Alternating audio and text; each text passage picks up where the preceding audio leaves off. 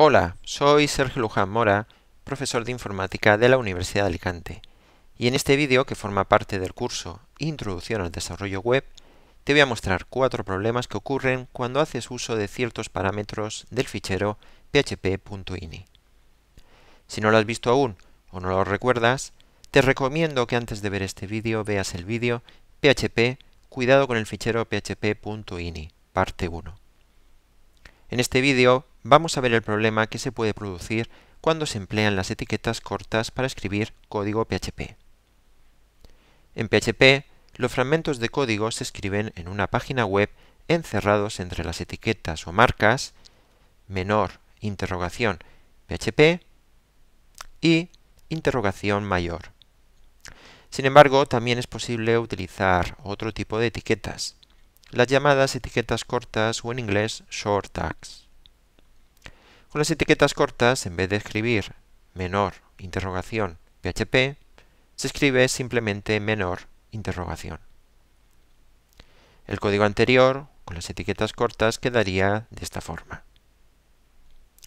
Para que funcionen las etiquetas cortas, se debe poner a on la directiva short open tag en el fichero php.ini. Sin embargo, hacer uso de esta característica de PHP plantea problemas. Por un lado, si movemos una aplicación web de un ordenador a otro, si la directiva no está activada, el código PHP no se ejecutará.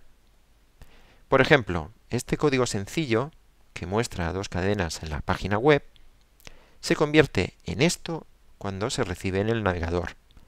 Si le damos a ver el código fuente de la página, veremos que el código PHP no se ha ejecutado.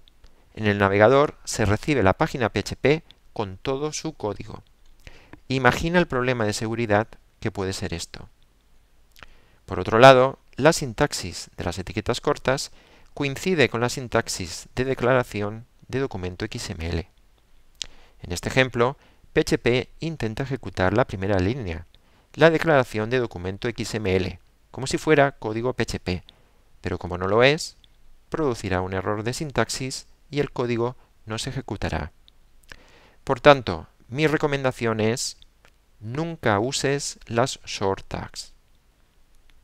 Ya para finalizar, me gustaría recordarte algunos de los sitios web en los que puedes encontrar más información sobre mí y sobre mi trabajo, y dos formas de contactar conmigo, a través de mi correo electrónico sergio.lujan.ua.es y a través de mi cuenta en Twitter arroba.